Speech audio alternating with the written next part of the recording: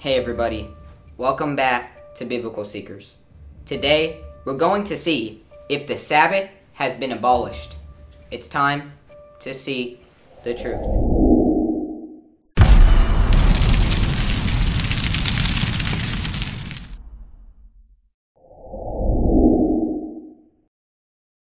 Okay, let's get started.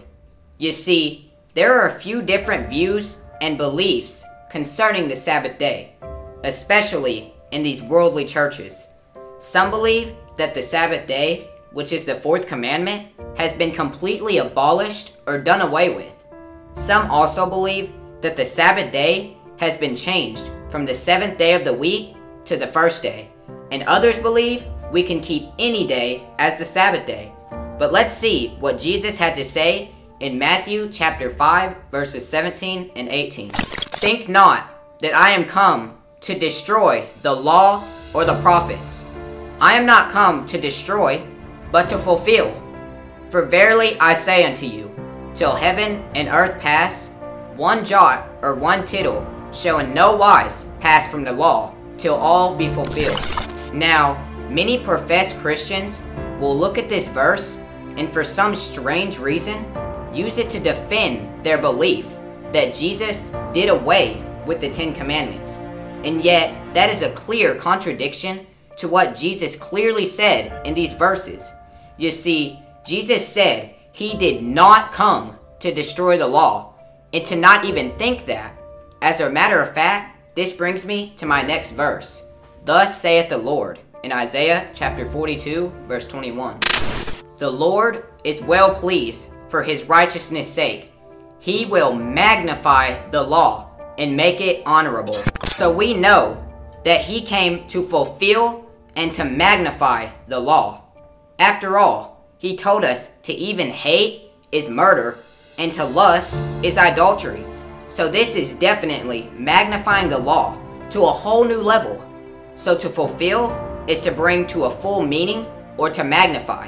And the next verse is even more clear in Matthew chapter 5 verse 18. For verily I say unto you, till heaven and earth pass, one jot or one tittle shall in no wise pass from the law till all be fulfilled.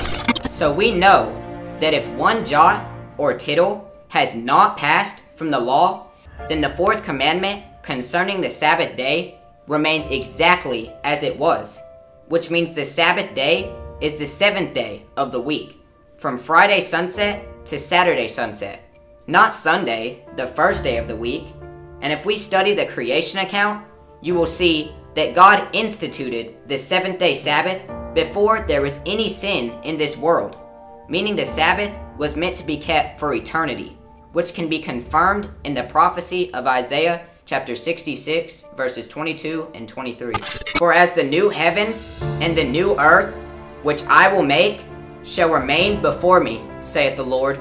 So shall your seed and your name remain.